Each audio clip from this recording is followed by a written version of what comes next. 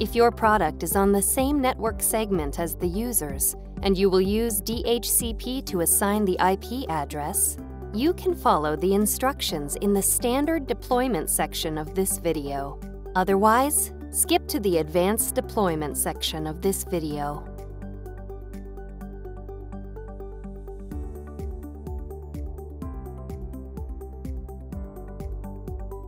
After you connect your product to the network, visit the Epson support site, then download and run your product's software package.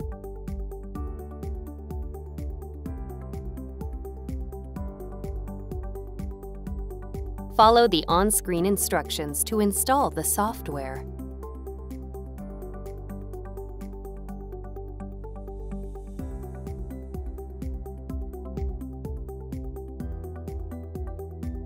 When you see this screen, select your printer from the list and click Continue. Follow the rest of the on-screen instructions to finish installation.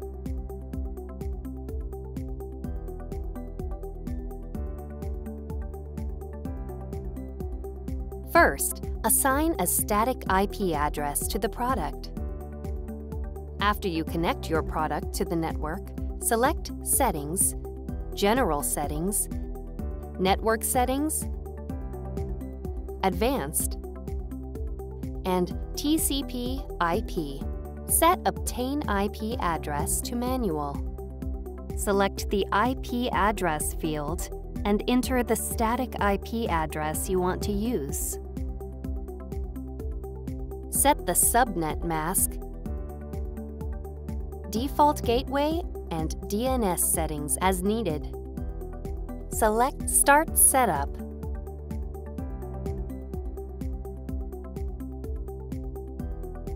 Visit the Epson support site, then download and run your product's software package.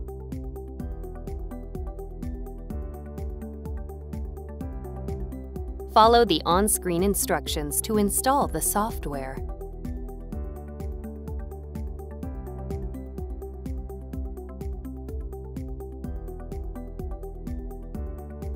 When you see this screen, click Cancel.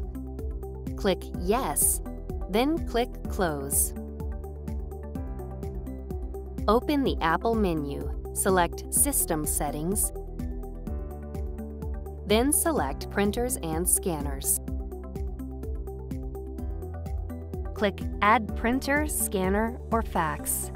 Select the IP tab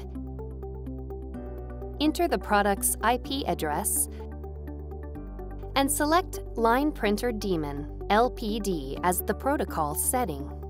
Click Add to add the product and finish installation.